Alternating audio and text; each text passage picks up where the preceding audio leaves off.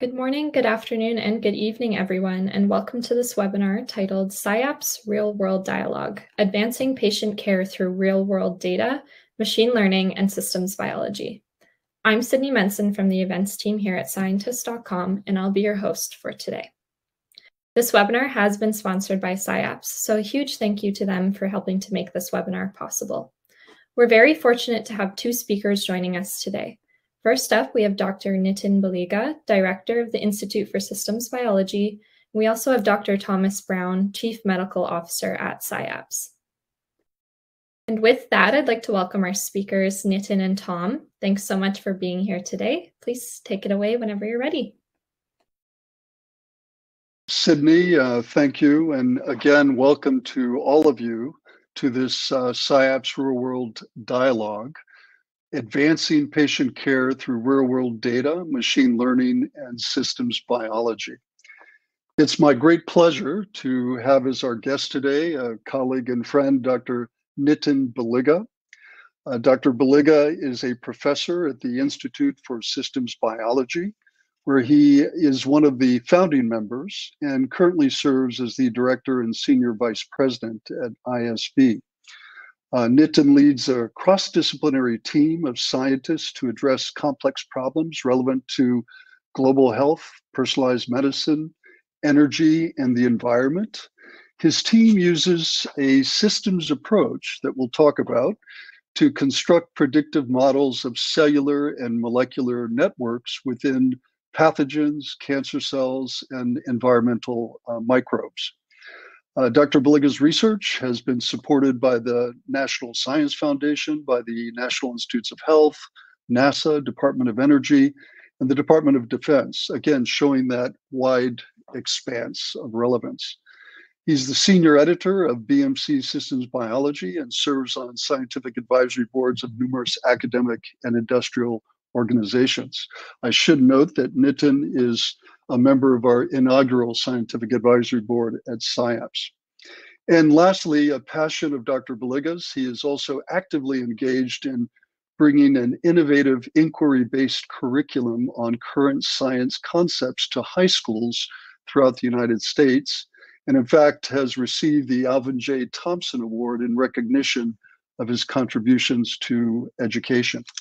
So Nitin, uh, thank you for joining us today. It's a pleasure to uh, to have you and to discuss this um, notably uh, wide-ranging but uh, timely topic of the application of real-world data and big data.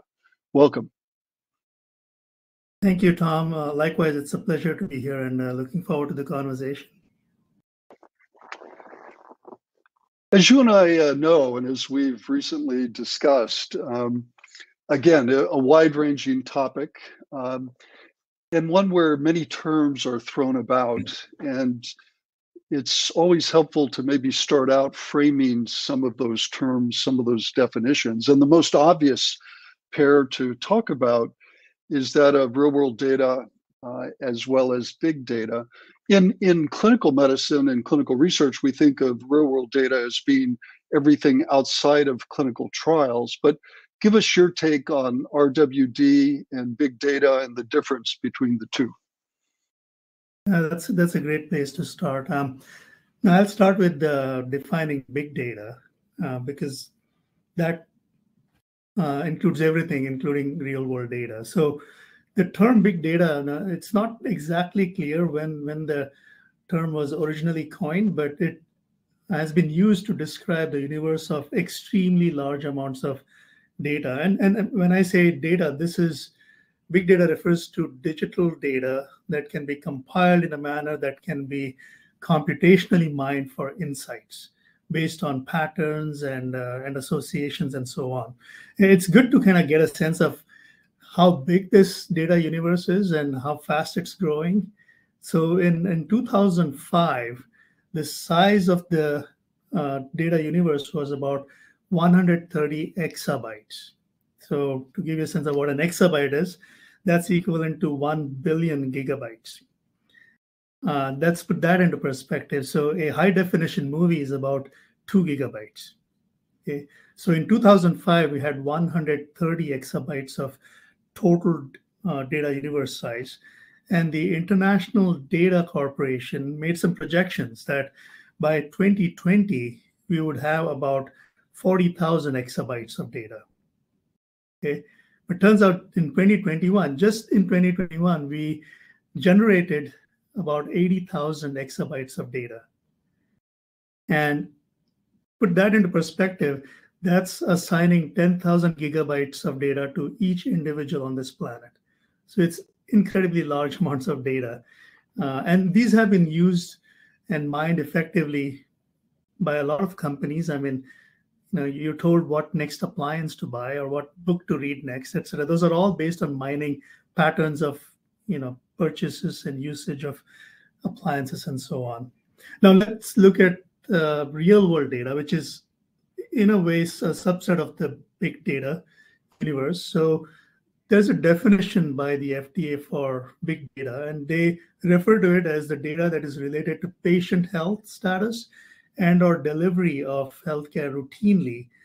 Um, and these data are collected from a variety of different sources. They can include things like electronic health records, uh, claims and billing activities, product and disease registries, and there's also molecular profiling information that is growing at, at a very fast pace. So so one thing to know is the, there's three V's they say for big data that apply to real world data. One is variety, the different kinds of data that you can generate. There's volume, large amounts of data, and velocity is the pace at which the data are generated. So I think that should give you a rough idea of what we mean when we say big data or real world data. Boy, Nitin, I'm I'm so taken with your comments about the scale of big data. One question that comes to mind in listening to you is uh, you've emphasized the growth, the rapid growth, and the accumulation of data. Are there issues in terms of preservation of data as as time passes? Uh, effectively having a comprehensive uh, library of data as it as it accumulates. Yeah, I mean, there's there's uh, there's a lot of key aspects to making data useful. One is making sure you capture the metadata information, how it was collected, uh, and with what technologies, how it was processed, if it has been gone through some some pipelines, uh, archiving it in a way that is accessible, that is secure. Privacy is a big issue when it comes to big data. Um, the need for standard vocabulary of data. So when you preserve it, you preserve it in a way that can still be interpreted for, for the long run. So now data is only as useful as uh, how it has been, how it has captured the essence of what it information it contains.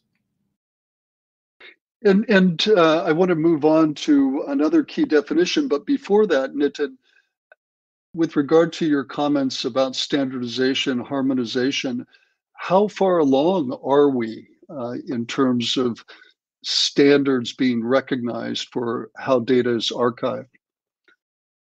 It's getting better, but I think we're really far from having uh, data from different sources be in alignment in terms of the use of vocabulary and uh, formats and, and so on. Um, and, and we may get to this later on. Joining data is a really key step in being able to combine information from different sources, also the same kind of data from multiple sources.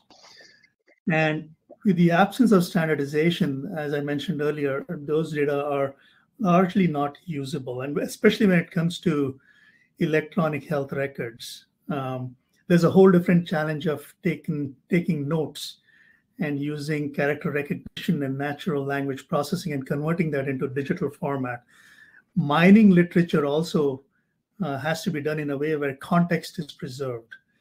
Um, so in the end, when you look at these data, for the same type of measurement, you have a variety of different formats. So oftentimes, at least when we work with these uh, big data sets, we spend an enormous amount of time in harmonizing them. And, and there are standards that have been proposed, but the thing with standards uh, is that people say there are too many standards um, and and slowly as the funding agencies like nih and journals start agreeing about common data standards, um, I think we won't make big headway, but that is changing. I think more and more people are recognizing the importance of, of uh, standard vocabularies and formats and interoperability and so on. So things are getting better, but there's a lot of legacy data that still needs to be uh, combined, curated, archived, and made accessible in a in a easy to access manner. So Nitin, that's probably a, a, terrific segue. You know, the the concept of needing to connect bits of information, in some cases large bits of information. Good segue into having you help us with the definition of systems biology. Uh, and of course, you're a, a leader at uh, the Institute for Systems Biology. What, how would you frame systems biology for our audience today?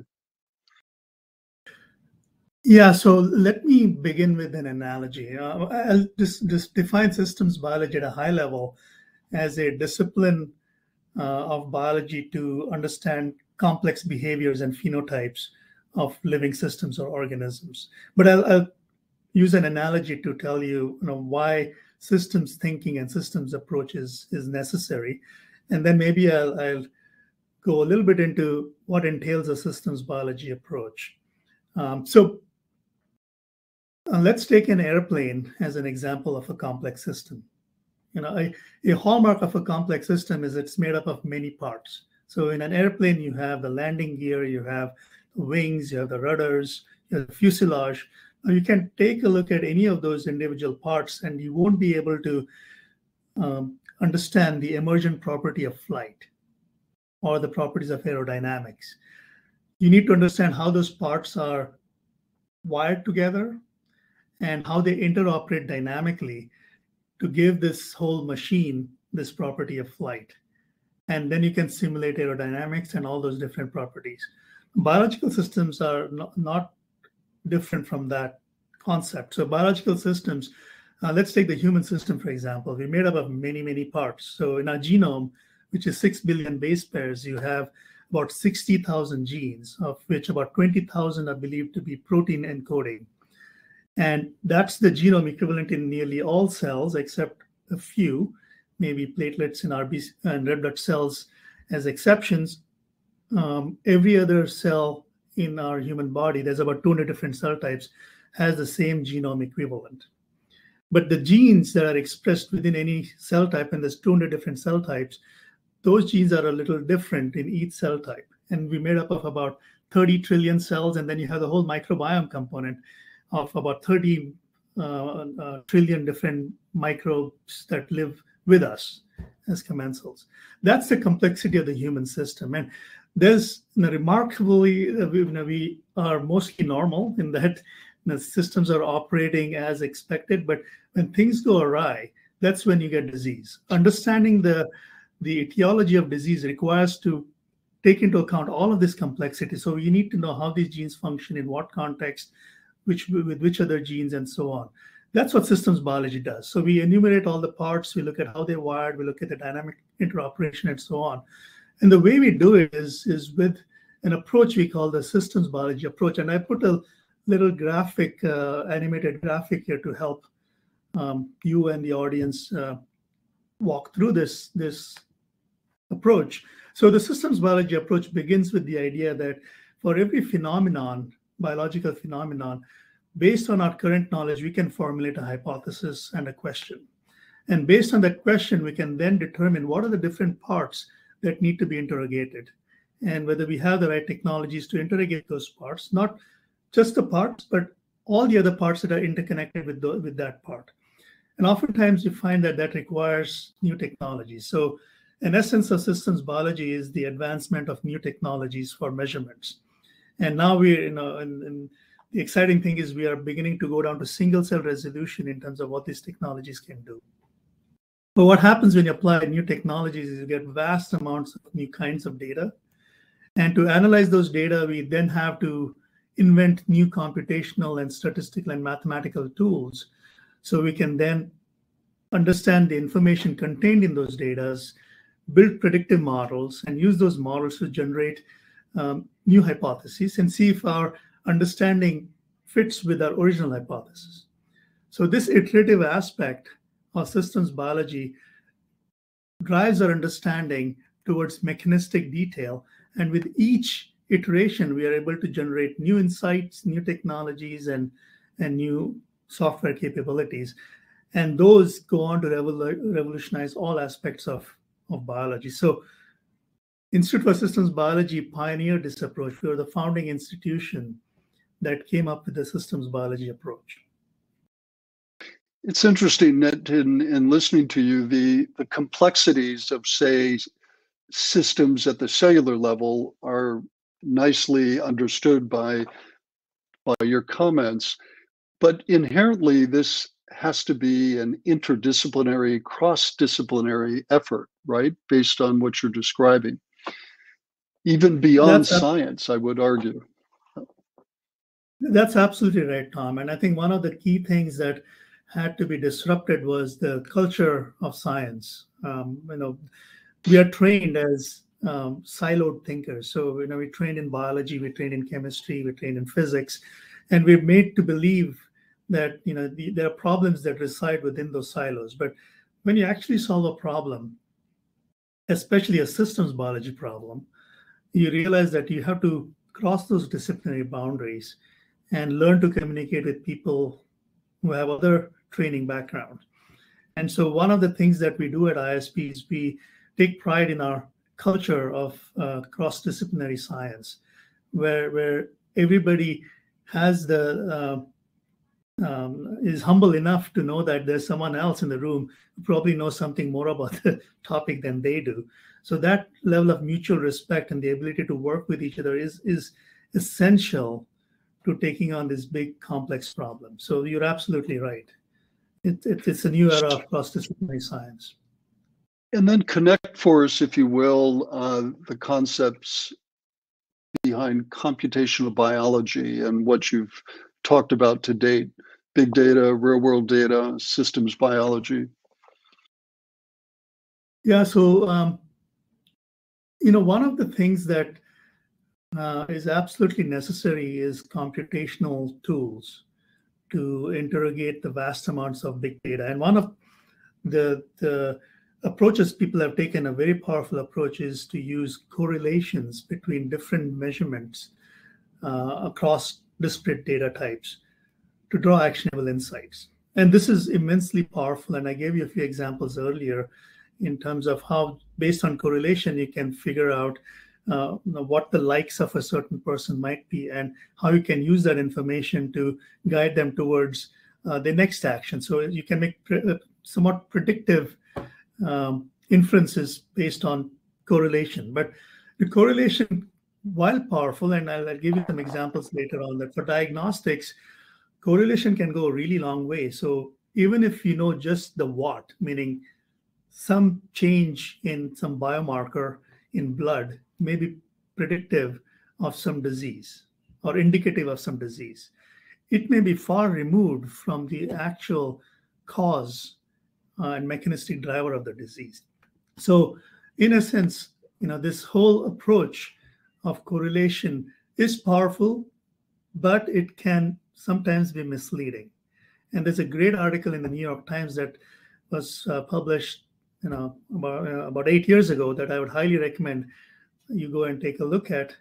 Uh, it tells you that you know well, big data is powerful and the correlation-based approach is powerful. As the size of the data universe increases, and I told you earlier, it's growing into immense um, amounts of data. The chance of finding spurious correlations is also greatly increased, and this can really be misleading. And uh, one good way to appreciate that is with a few examples. So here I'm, I'm taking real world data. And for example, uh, these data sets come from the Centers for Disease Control and the National Vital Statistics Report. And as I mentioned earlier, joining data is really important to be able to interpret information across data sets. And from these data sets, if you were to apply a simple correlation-based approach, you would infer that people who drowned after falling out of a, a fishing boat is because of marriage rate in Kentucky. And I mean, and in, in this case, you know what the two features are, and you know this makes absolutely no sense. And there's many, many examples like this. And there's a great website by Tyler Vigen that lists these kinds of correlations. And here you see age of Miss America is correlated with murders by steam, hot vapors, and hot objects. And I'll give you one more example, which shows that per capita cheese consumption is highly correlated with number of people who died by becoming entangled in their bed sheets. And there's absolutely no causality or mechanism behind these correlations. Now, in this case, we, we can laugh that, you know, because we know what they, these features mean. But when you look at biomedical data, when you look at genes and metabolites and proteins, and you have very cryptic uh, features that are being correlated.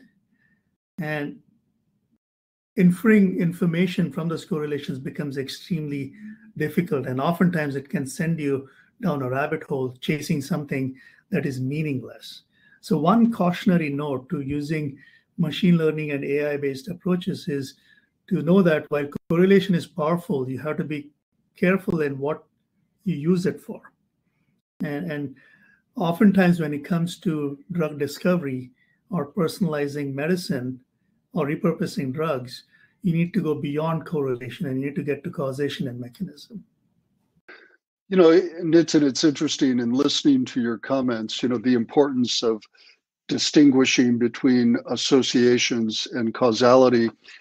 I mean, as a clinical investigator, we we have always struggled with that. You make an observation in a clinical trial, and often it's simply an association, but without causality as to the intervention you're using in that clinical trial. I think the challenge is that with uh, big data, there's just a greater opportunity to take that uh, errant path, right? Uh, it's easier to come up with these associations because of the scale of things. Um, it would seem that way, at least. Yeah, I mean, and, and, I think it happens a lot now. In the past, reviewers of uh, uh, science scientific uh, uh manuscripts weren't as savvy, but now I think more and more people have recognized that, you know, because the data are so vast, you can find evidence for any hypothesis. So you need to do something called multiple hypothesis testing, and you need to when you do machine learning and um, AI-based pattern detection, you need to set it up in a way that you have training and test data sets, and it has to be demonstrated uh, in a statistically rigorous way that your models are not overfit to data, that they do retain the type of predictive power you would need when you apply it on new data, especially when it comes from new patients. The stakes are really high, so you, you have to be extremely cautious in making sure that these models are based in uh, a deep understanding of both the predictive power and, when necessary, the basis of correlations or causality that is captured within the model. So uh, this is a good springboard to go on to, I think, one of the central aspects of our conversation today, and that is from your perspective uh, to date, where has systems biology, to include computational bio- biology tools, uh, where where has there been the greatest impact to date, and where do you see the the near future uh, significant impacts of systems biology? And there's, so many different levels that uh, big data and computational biology have had huge impact. Um, um, I'll start with this having the genome sequence and being able to mine not just our genome sequence, but genome sequences of thousands of different species. Now, CRISPR is a great example of a discovery that was made through comparative genomics originally, that they saw these interspersed repeats in bacterial genomes and didn't know what it meant. They had these viral pieces of viral genomes in there. And then uh, um, Jennifer Doudna and Emmanuelle Charpentier figured out that this is actually a bacterial immune system, which was then leveraged by them and Feng Zhang and George Church and others to figure out ways to precisely manipulate um, human and other types of cells. And it's now being used for cell-based therapy, right? To for CRISP, uh, for CAR T cell-based therapies, you can precisely uh, generate the neoantigen-specific receptors and so on. Also, discovery of multi-gene biomarkers has been has exploded in giving us the capability of doing accurate disease stratification or even early detection of certain diseases, um, finding things like HER2 for uh, Herceptin responders is a great example. Finding the V600E mutation for responders to BRAF inhibitors is another good example. Uh, if, if I were to summarize this, what I would say is if you were to look at randomized clinical trials, um, the way it was done previously, well, still being done that way, the success rate for oncology is a dismal uh, 2% or less. Okay, the reason behind that is patients are so different. We, you know, cancer is a heterogeneous disease, and you really need to understand what are the, the molecular features and the, the mechanistic drivers of an individual patient's cancer. And that kind of knowledge can be derived based on biomarkers, which could be mutations or uh, some patterns in, in, in blood proteins and so on. And having that kind of information allows you to improve the success rate of clinical trials by up to sevenfold. And because you can recruit the right kind of kinds of patients for the right kinds of therapies. So there have there been a lot of examples of this already of using biomarker enriched or stratified trials where you, your response rates can be really low so you can get fewer patients and yet get uh, enough evidence of, of response. For example, if you had a 20% response rate, you would need 100 patients. But if you had a response rate of 80%, you would need just eight patients.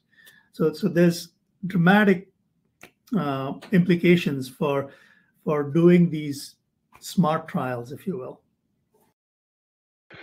So with that, uh, Nitin, I thought we would surprise the audience. I don't know that uh, we underscored this dimension of our talk today, but we have a few uh, polling questions. Um, and the first one is, uh, how are you currently using or considering using uh, real world data? Uh, and if the audience could respond, um, we'll talk a little bit more and, and then um, look at the results. Uh, so Nitin, you know, it's interesting as I was thinking of this aspect of our conversation today, uh, I kept going back to the Human Genome Project, which has has at least some elements of, for sure, of what we're talking about in terms of uh, big data and even some aspects of systems biology. And, and of course, uh, Dr. Lee Hood, uh, one of the central founders of ISB, uh, was a, a a key figure in uh, in the uh, genomic revolution in terms of sequencing uh, and uh, synthesizing both um, DNA and proteins. What are, what are your reflections on in the context of our discussion day on the Human Genome Project and its impact on where we are today? I mean, that's I guess sort of a rhetorical question, but uh, the, the implications have been profound. I think I was actually a graduate student when the human genome was being sequenced. And you know, I was my research at the time was focused on understanding, you know, maybe five genes and how they were controlled in an extremophile, uh, an organism that lives in high salt conditions. And I got to know Lee Hood at the time because we sequenced the genome of that organism. And we collaborated with Lee to do that. And I came to the realization that the four genes I, or five genes I was studying were five out of 2400 genes in that one microbe right? And and in reality the microbe was not just putting these five genes in a compartment to carry on that function. It was really interoperating these genes with all the genes in the genome. And then i took a look at the complexity of the human genome which was just finished uh, in in the the late 90s to 2000 and came to realize that now, we have barely scratched the surface of complexity in understanding some of these diseases like cancers. And the human genome really took the covers off and it showed us that there's a lot more information that we, we weren't aware of that needed to be considered. And since then, I think the whole culture of science has changed. And I touched on that a little bit earlier. And now every other week, you get some new technology that can measure a new property of, uh, of human cells or, or bio biology in general. And we realize that there's so many layers of information processing. And, and at each of those layers, you can have dysfunction that can lead to disease, right? And based on that understanding, we we are now able to tailor therapies like uh, even glioblastoma, which is not a, a disease for which there has been a lot of progress. We came to the realization that patients who have methylation of a promoter of a gene called MGMT respond better to a drug called temozolomide, right? That type of knowledge would not be possible without having the capability of detecting methylation of that gene, which is a technology that we can apply to all genes in the genome. Same with mutations. We would never know that certain mutations increase or decrease your propensity to get a disease or to respond to a therapy. And I've given a few examples of that. But I think the way we're thinking of biology is very different now. I think of it as an information science. And that has attracted engineers and mathematicians and statisticians to work on problems that impact all of us. And these new perspectives are. Go on, go on. Sorry. No, I, I was just going to pick up on your on your thread of logic there because it really does lead us into a subject that I wanted to have you comment on for the audience, and that is uh, the application of systems biology thinking, systems thinking to the practice of medicine. And in particular, the, the concept of what you and your colleagues refer to as P4 medicine. Would you talk a little bit about P4 medicine for our audience today? Absolutely, and um,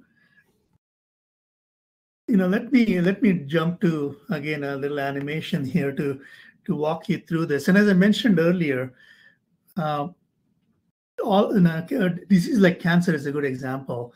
You know, even the same type of cancer can be caused by dysfunction in a variety of different genes and at different levels of information processing.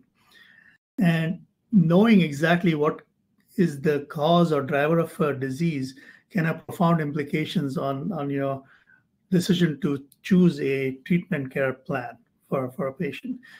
And so one of the first things that you need to really understand for, for a disease is to figure out you know, what defines a healthy state and what defines a disease state, and do that in a quantitative way. So in the past, we would go symptomatically, but now we can do molecular measurements. And as I mentioned earlier, we can do a variety of different kinds of measurements. And then in this case, you can use machine learning and AI to find out patterns that differentiate individuals that are healthy from individuals who have the disease. And you can use that as a diagnostic um, you know, set of biomarkers to accurately call the disease in a patient and stratify it precisely. And for, for many diseases, good stratification amounts to good treatment plan and uh, selection of therapies. Now, as I mentioned earlier, this is can be done purely correlation based. So these biomarkers may have nothing to do with the disease itself. But this is the the part I would say is the the predictive and personalized part. So you can identify for each patient what is unique to them.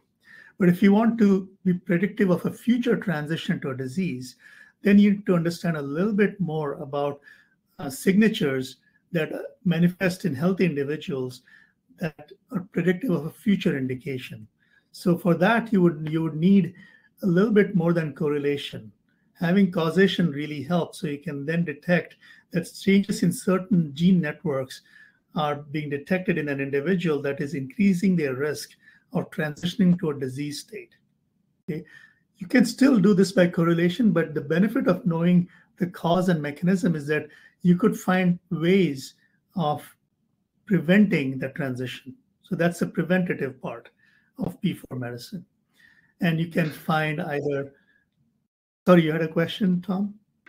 No, I was just going to comment on it, and I, and before we switch over to your uh, relevant slide, we, we can also comment on the survey results. But before I comment on the survey results, the you know the interesting aspect of what you're talking about of P4 medicine is in some ways I, I, like to say, attempting to redefine illness in the sense of illness being the risk of illness, uh, moving upstream, not only to earlier stage identification, earlier stage disease identification, but identifying individuals, populations at risk, and intervening to prevent disease. And I've always thought that, uh, you know, you and Lee and I have talked about this on occasion, that it's at some point in the not too distant future, we'll think of illness more in the context of risk of illness and intervening to address that risk, which is inherent in what you're describing, right? That's exactly right. And, and, and, and I think you alluded to this early detection sometimes amounts to total prevention. And, and we have examples of that in uh, colon cancer or prostate cancer or breast cancer and so on is early detection can really save you a lot of complexity later on uh, in, in, a disease like multiple myeloma for example um, if you catch a disease early when it's in what is called uh, mo- monoclonal gammopathy uh, of un- undetermined consequence or smoldering myeloma. These are stages when you don't see symptoms necessarily, but beyond this, the disease starts becoming very heterogeneous. It, you know, you have hypermethylation, you have uh, amplification and deletion of chromosome arms, gain of somatic mutations, and the disease becomes quite complex, becomes very difficult to treat later on. So the question is, can we, for all these diseases, figure out early detection markers and there are companies that are now looking in blood for uh, circulating tumor uh, DNA or and things like that to see if we can detect cancer at a very early stage. So for all of these reasons, I think being able to have sensitive measurements and good biomarkers that are predictive will go a long way towards prevention of disease. But one thing to also keep in mind is uh, oftentimes you have to intervene in ways that are yet to be discovered. Right? Just diagnostics exactly. is not in.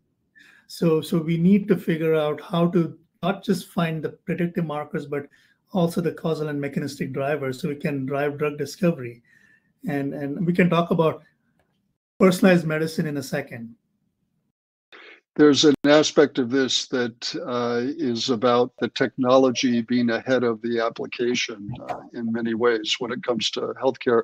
I want to make note of our polling here as, as everyone can see. Uh, how are you currently using or considering using real world data? Clinical trial design and recruitment was the most frequently uh, mentioned, as well as uh, post market observational studies and clinical development.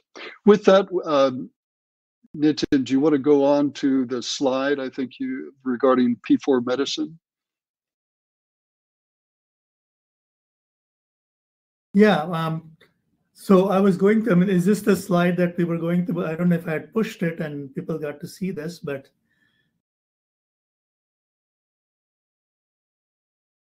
So I don't know, Tom. Did, did I go through this animation earlier, or? Uh, Yes, you did. excuse me. Um, yeah, but, uh, but there are a few points I do want to make uh, just to close off the thought. I think the, the thing I was um, mentioning in terms of uh, personalizing medicine is knowing exactly what are the mechanistic drivers can allow you to identify the specific gene networks that are associated and the vulnerabilities in those networks that can serve as drug targets. And so this is a huge aspect of driving drug discovery. But the way drug discovery has been done. Nitin, I, I want to call out that actually you had not uh, shown the uh, P4 slide. You had shown the systems biology. Um, oh, I think okay. when maybe you were talking to it, you didn't have it pushed out to the audience. Do you want to show them that real quick? Absolutely, yeah. Because I think it underscores some of the points that you were making. Yeah, so uh, no, I, I had mentioned earlier that the, the key aspect of P4 medicine is being able to accurately stratify disease. And we've done that in the past symptomatically, but now we can do it with molecular measurements. Uh, and these are a variety of different kinds of molecular measurements, which we referred to earlier as big data or real world data. And you can use machine learning and AI to find these patterns that are diagnostic of disease states. And so you can find differences in, in certain biomarkers when a person is healthy versus uh, when an individual has the disease.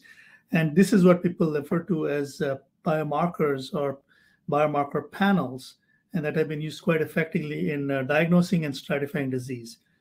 But to, to really get at uh, being able to prevent the transition of an individual from a healthy state to a disease state, you need to have dynamic understanding of early signatures of uh, a shift towards a disease state.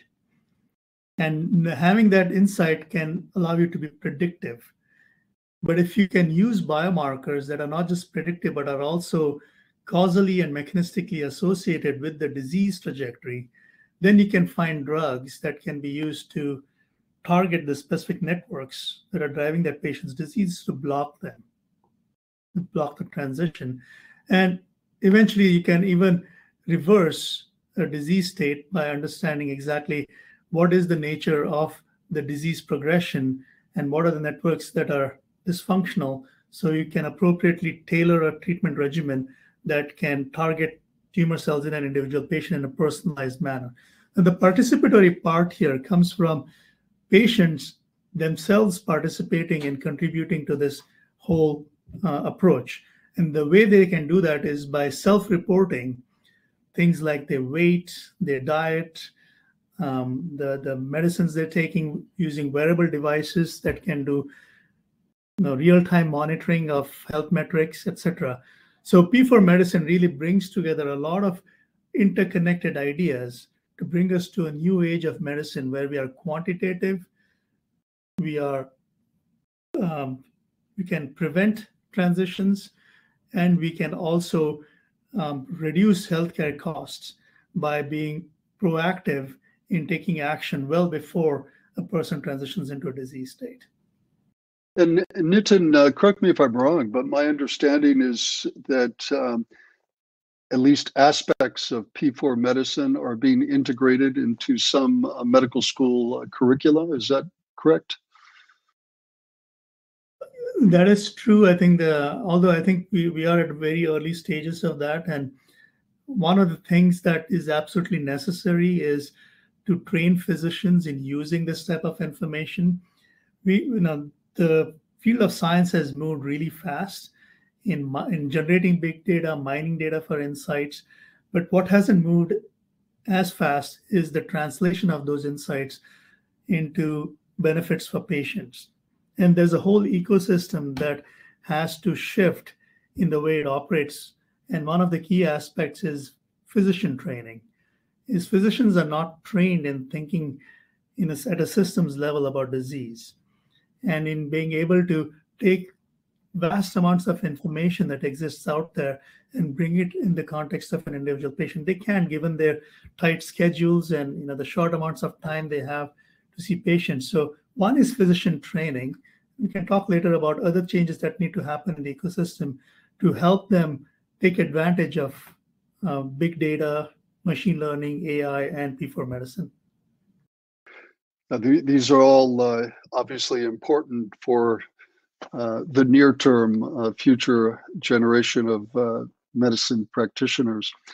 I, I wanted to uh, go to another subject that you and I know is is critically important, and that is that no matter how high quality a data set is, by definition, it's going to have certain internal biases, right, in terms of how the d- data was collected, how it was transformed through various transitions, harmonization, standardization. Can uh, can you talk a little bit about uh, internal biases in data sets and the importance of recognizing those uh, since they're omnipresent, right, in one form or another? Yeah, that that's a really really good question. Um, there's technical biases in data, which something we call batch effects. So there have been studies that have shown that if you take data sets from different laboratories on uh, data sets regarding the uh, same type of information, hold on, um, and you you run analysis to to get uh, insights from those data. The biggest insight you get is who generated the data. That's the biggest contributor to variance across the data sets. And th- that would be considered platform bias or technology bias. Um, and one of the first things we always do when we join data sets from different sources or different groups is we do what is called batch correction. If you don't do batch correction, the, the signal coming from, as I mentioned earlier, who generated the data swamps some of the really meaningful signatures uh, because it masks that information. The second type of challenge uh, with big data um, has to do with the composition of the data itself. And this is not technical bias, this is compositional bias. For example, with regard to demographics of patients who were considered uh, for a particular trial. And uh, the TCGA, for example, there was a study done that showed that majority of patients, over 70% of patient, patients are of uh, uh, Caucasian background. And if you look at uh, African Americans or Asians or um, uh, indigenous groups, they are highly underrepresented. And what that does is that it prevents you from detecting group specific actionable genetic variation. So if you have variation that's under 5% in a group specific way, you won't detect it for any of the, the minority groups in that in that data set. And this has got, as you, as you might imagine, a feed forward effect on uh, which patients benefit who are recruited to trials, and that perpetuates over time. So there are a and, of and the relevance and the the relevance of ultimate discoveries, right, to the broader population. It's it's interesting, Nitin, because this phenomena, as you well know, is a, a real challenge in classical prospective uh, randomized clinical trials, where not only is the participation in the US relatively low across the board, but uh, underserved populations by definition are poorly represented, so that the subsequent results arguably aren't quite as relevant as one would hope to the broader population. Yeah, and uh, you know, there are efforts now to address that, and we can talk about that as well. But but we are far from uh, you know, the the place where we need to be in terms of having an equitable approach that that impacts everyone equally. You know, Nitin, I, you and I have talked about this, but I wanted to bring up for the audience a recent experience that we've had at Syapse. From uh, last year, we published uh, some work on our mortality score approach, where we gather information relating to uh, whether a, a, subject is alive or not in the larger data set.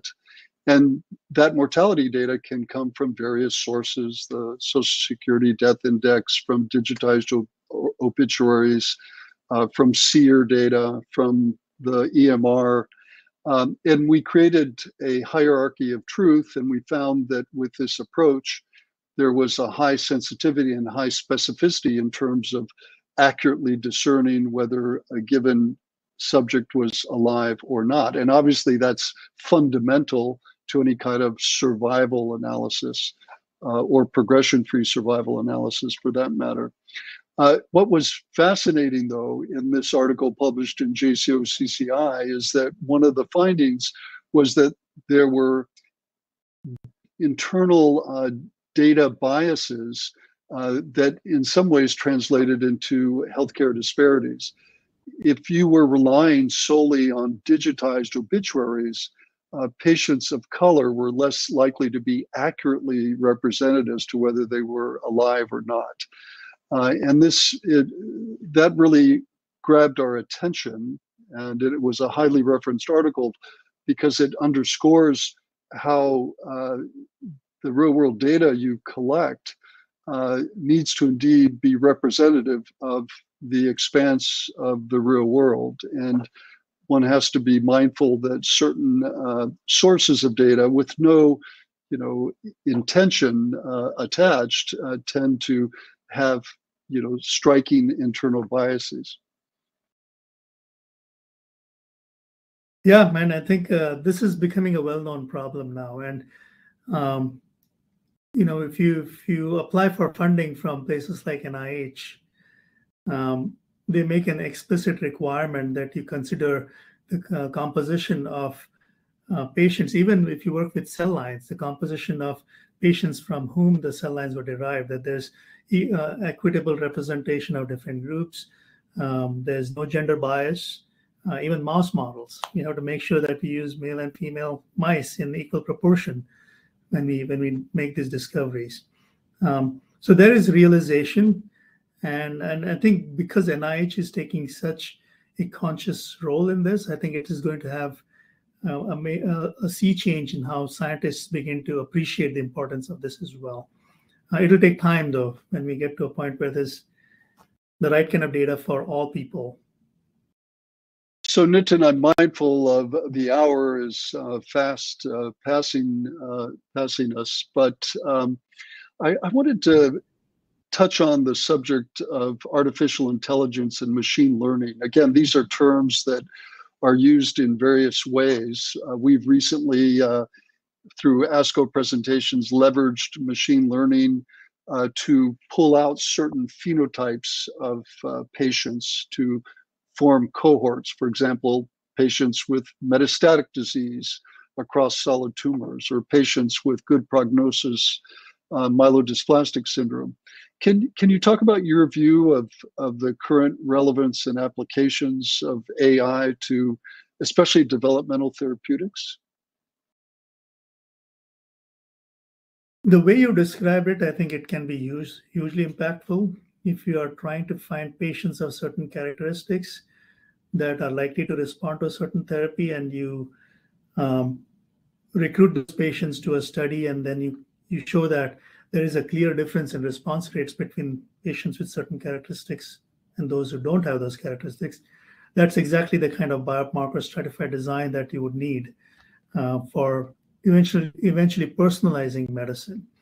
Now, where in, it may fall short is uh, when you say therapeutic discovery, it is fine for drugs that you know the mechanism of action for and that you associate with a certain signature that you've empirically observed. But where it does not um, is not effective is when you're trying to find new drugs. So you find that there are patients who have different types of disease or subtypes of a given disease, but you don't know exactly why. Now, the, the lack of why is where you need to go beyond machine learning and AI. I think those approaches still, I think, are super powerful for certain kinds of problems. I would just caution the user that know clearly uh, beforehand where there are shortcomings of this approach and where you need to progress towards causation and mechanism. And and this really um, this really connects back to your comments uh, throughout our discussion relating to causality, correct? Yeah, exactly. I think and and the, that impacts how data are collected, um, how they're analyzed.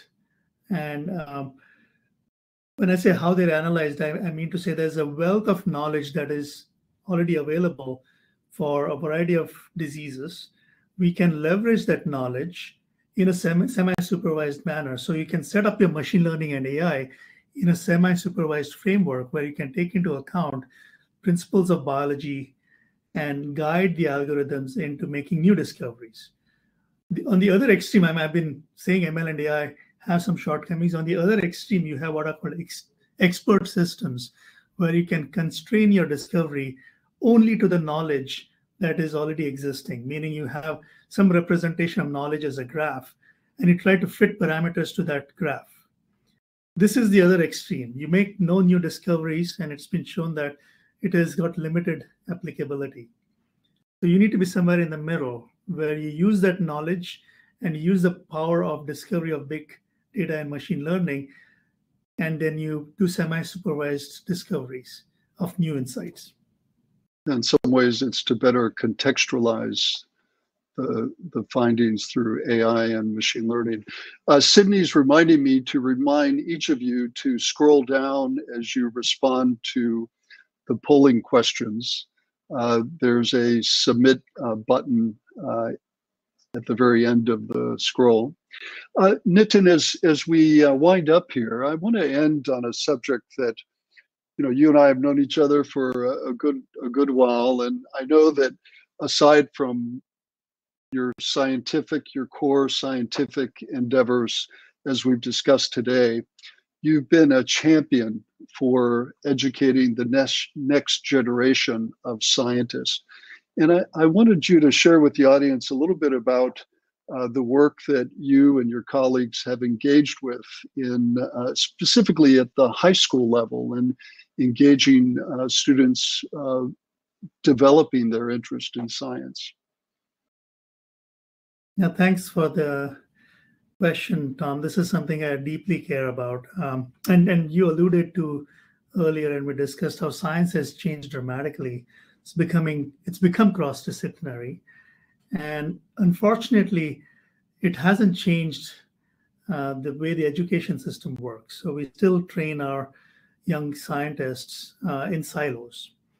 And you know, when I when I started my um, work here at ISB, I came to realize that there's this big global achievement gap that people talk about, which is people who are trained through high school, undergrad, and even grad school, when they come to the workforce, they're ill prepared to take on real world challenges. So they don't know how to solve problems. They have to unlearn and relearn everything all over again.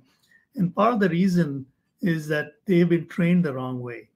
So you really need to learn science the way it is practiced.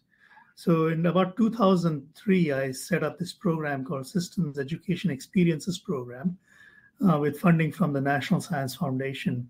And in essence, what we did was we we figured out a way to accelerate the way knowledge is transferred from institutes like mine to the high school classroom. Typically, it takes five to 10 years or longer for knowledge to get transferred but we accelerated it to a period of less than two years or one to two years. And the way we do that is by bringing in students and teachers to spend time at the Institute over the summer and work with the scientists. And we leverage their experiences and knowledge to create curriculum modules that focus on science concepts and also authentic scientific practices.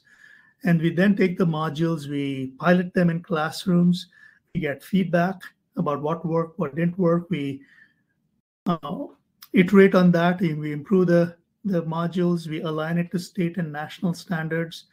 Then we do professional development of teachers, and then we disseminate the modules um, through training of teachers and also for, for free online. And we developed over a dozen different modules that focus on different systems biology concepts. Some states like California have adopted these curricula as official state mandated curriculum, and they're in use across all 50 states now and uh, across over 100 countries worldwide. They've impacted millions of students. And so that I think is something that we take a lot of pride in, in being able to try to keep the education system uh, at pace with the progress that science is making, which is accelerating on a daily basis. Well, it's it's a wonderful program and represents a mentorship at a a big scale relating to big data. I Nitin, I I know there are a bunch of questions in the chat room, but I wanted to highlight one before we end. Uh, and it's a, a, nicely framed question. Correlation clearly isn't causation, yet the spurious examples cited have highly significant p-values. How does this apply to medical data? What are some ways to get around p values in understanding the underlying mechanisms of biological processes? A very sophisticated question. Uh, and I, we only have uh, a matter of a minute or so to respond, but what's your take on that? Yeah, I mean, I, I think that's a very well phrased question. Uh, the, the people say there's reality and then there's statistics, right? So there's there's p hacking that is well known. So you have to really use the right statistical test when you analyze these large data sets. And there's a lot of considerations in terms of distribution of data, uh, the size effect, um, and, and the likelihood of finding various correlations that go into selecting the right kind of testing. And as I said, multiple hypothesis testing is one thing that needs to be done. Selecting the appropriate statistical test based on data distribution, etc., is important. And at the end of the day, iterating back and testing your new insight is absolutely critical. So you can do that in a couple of different ways.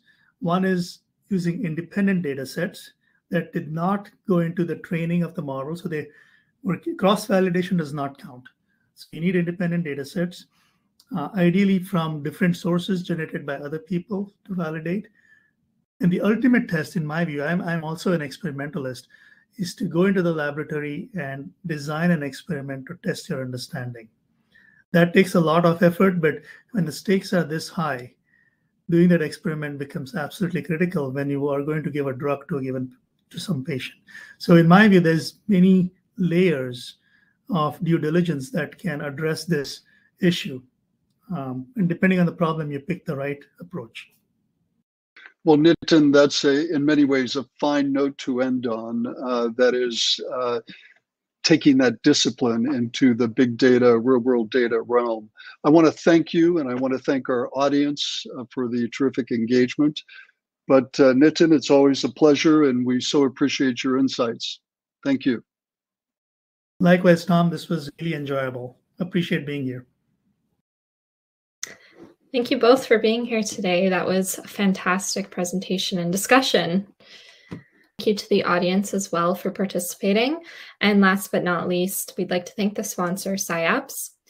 In closing, we hope you enjoyed this webinar and we'll see you again next time.